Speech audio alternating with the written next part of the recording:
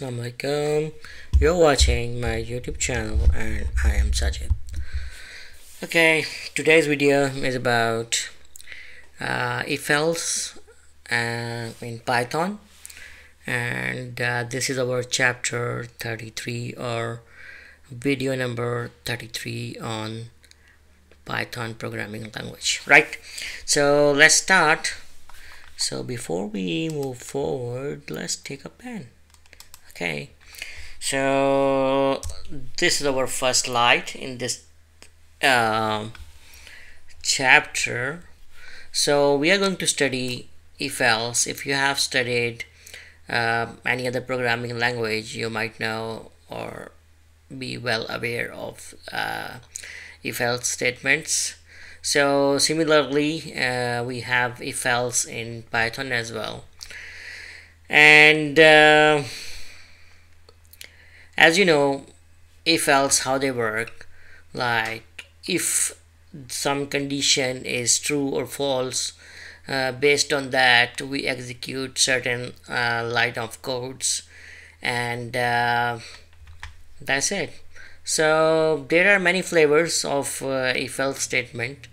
Um, also there are some ways to write it in shorthand form in Python so we will be looking at, uh, at them in upcoming slides. So so first look at the Python conditions because as you know if statements they work around like they work uh, based on conditions. So your programming language first of all should have uh, some uh, like support uh, for the usual uh, logical conditions from mathematics. For example uh, if a is equal to b uh, not equal less than less than equal to uh, greater than or greater than or equal to.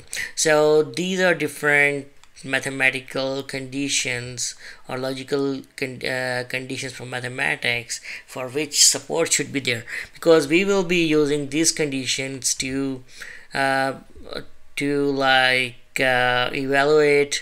uh, uh, certain for example numbers or conditions and then uh, in response to that if statements will be um, executed properly. Okay so these conditions can be used in several ways most commonly in if statements and loops.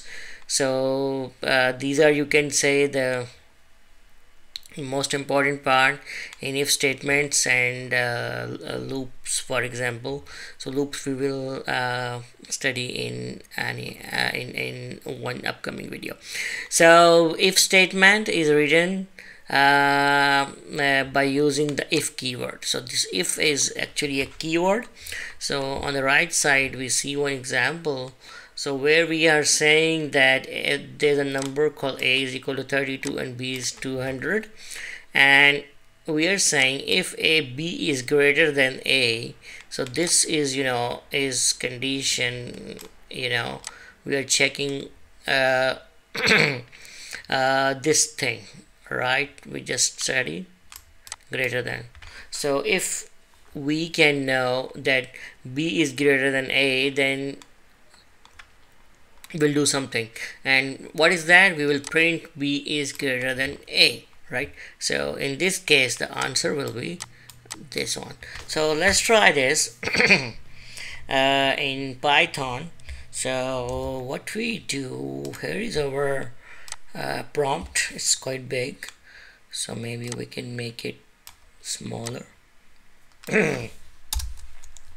So let's say a is equal to 33 excuse me b is equal to 200 so these are our two variables and we say if b is greater than a do what?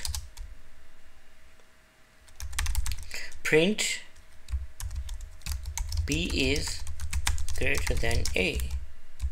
Okay so let's see what happens yeah. So this is important point. Here you see I have uh, uh, typed the next uh, uh, uh, line this print b just below if. So this is you know indentation error. And in we will see in one upcoming slide that python in the python indentation is very important. So if you don't do indentation properly the code will not be executing properly. You will get error. So let's write it again. If b is greater than a right then you give for example two spaces. Now it will be okay b is greater than a. Okay? And yep so here we, you can see the output. B is greater than a right? So now we know that how to write if statement in python and run it. So if b is greater than a print b is greater than a. So b is greater than a. So we have also seen that if we don't give proper indentation while typing or writing uh, if statement it will not work. Okay. So this is the concept we just talked about. Indentation. In python relies on indentation white space at the beginning of a line to define scope in the code. This is a very important concept. Okay? So other programming languages often use curly brackets for this purpose. Like you know this here first we have type if and then second line print line so as you know in other other programming language like la java we have curly brackets and, and round brackets to define where the next part of the code is starting. So but in python we can see we are not differentiating uh, uh, based on these curly brackets or uh, uh round brackets. What we are doing uh, we, we we are not uh, we are just typing if b is greater than a then we are going to next line. So so just to make sure that this print is actually under this if statement at the start we should have uh, uh, spaces yeah? So this is called indentation. If we we don't do this we get error as we have seen our in our previous uh, slide. Okay. So now let's look at another keyword elif elif so this is uh, in python only uh, is and it's a python's way of saying if the previous conditions were not true then try this condition.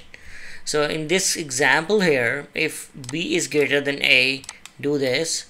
And if this condition doesn't work this is like false then we are going for elif and then checking this condition. So if for example this condition is true we will print this line. So let's try our uh, this example in our this anaconda prompt. Okay so what we have a is equal to 33 b is equal to also 33 if b is greater than a. Do what? Print. Okay. B is greater than a. Okay. And then we do elif a is equal to b. Then do what print a and b are equal. Okay. So what's gonna happen? Because you know a and b are equal in this example so our first if is going to fail right? So we will enter elif uh, part and here because a and b are equal so we will get answer a and b are equal. So see here this is uh, our answer. A and b are equal and same we already have this here yeah this thing. So this is how uh, elif works. Keep remember gen uh, elif is not i have not seen it in other programming languages. Uh, it's there in python. So this is something new for you. So okay next move to us so else. So before we have seen before we have seen if statement then we have elif and now we have else. So else keyword catches anything which isn't caught by the preceding conditions okay? So in the else you know we don't have any condition here. So here we have three levels. Uh, for example if we are saying that if b is greater than a right if it's false then we go to uh, elif if a b a is equal to b if this also fails then whatever we have in the else that is executed. So a is greater than b. So this is going to be our answer.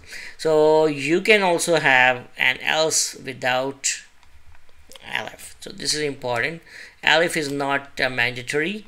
We can have directly else statement after our if statement. So this will be our answer. Okay. So right.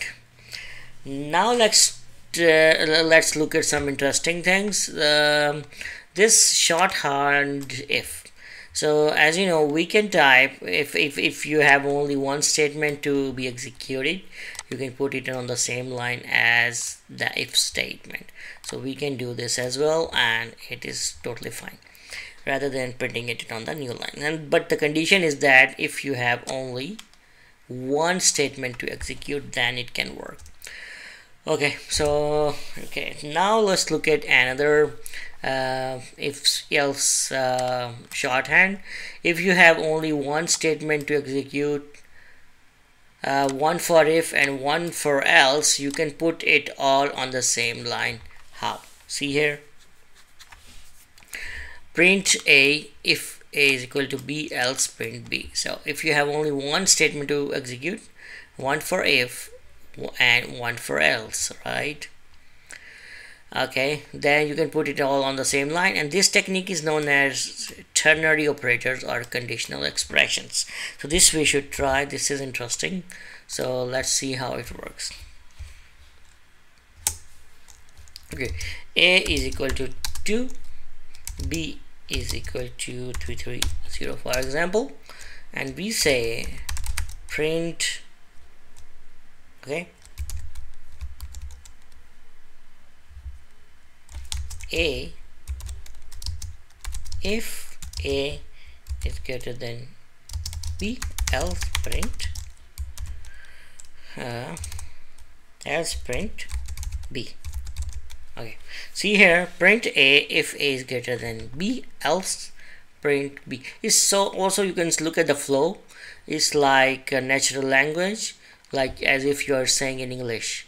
Print a if a is greater than b else print b yeah. So here as you know a is not greater than b so the answer should be b. So let's see. Yeah. See here we have the output which is b okay so this technique is uh, called uh, ternary operators and this is quite interesting. Keep remember this. And this works only if you have one statement for if and one statement for else. Okay. Right so next we look at this uh, another concept. You can have multiple else statements on the same line yeah? So one line if else statement with three conditions yeah? So what we have print a if a is greater than b else print okay? Else print this if a is equal to b else print b right? So as you can see here we have multiple else statements on the same line. Okay so I hope this is clear to you. So let's, let's uh, move to next slide. Okay this is another in interesting concept. Here we have and keyword. And keyword is logical operator and is used to combine conditional statements like if here we have three parameters uh, three variables a is equal to 200 b is equal to 33 c is equal to 500 so we are saying if a is greater than b uh, which which is true and c is greater than a which is also true then we have to say print both conditions are true. Okay so we can try this one. Right so we can say a is equal to 200 b is equal to 33 and c is equal to 500 and what's gonna happen if a is greater than b and c is also greater than a then do what? Don't forget this indentation. Print. Both conditions are true okay? And what's going to happen uh, yeah both condition is true. We have this output why? Because a is greater than b and c is greater than a. So this is another interesting way uh, to check the conditions by using this and keyword and keyword okay? So next we have or keyword. The or keyword is a logical operator and used to combine conditional statements. Test if a is greater than b or if a is greater than c. So at least one of the conditions is true then we will be printing this statement. So this is the concept of or uh, or keyword right? Okay. Next concept which we are going to see is called nested if. You can have if statements inside another if statement this is called nested if. See here in this example we have if statement and then we have its print statement and then this part is actually another if statement inside the outer if statement. Yep. But be careful the indentation should be proper otherwise you will get error. As you can see this line here other print is starting after spaces and this print is also starting after spaces. Right so this is our nested if okay. Next we have this pass statement. This is quite interesting. So if statements cannot be empty this uh, uh, is a requirement in python but if you but if you for some reason unknown reason have an if statement with no content put it in the past uh, put in the pass statement to avoid getting an error. So you see here we have two uh, uh, variables. A is equal to 33 b is equal to 200 and this is our if statement and we have nothing to execute if b is greater than a. So we just write pass and nothing will happen and there will be no error okay that's quite interesting. So I will wrap up my video here. I hope you have uh, understood many concepts about uh, if else in Python. And there are differences as compared with other programming languages. Also these uh, one line shorthand uh, if else statements are quite interesting. So also there was a new cons a new keyword elif right? So if video was uh, if you have enjoyed it and uh, learned something you please share with your other friends and colleagues so that the other, they can also take benefit excuse me uh, from it. So i will be back with another video soon. Till that time take care. Bye bye and allah hafiz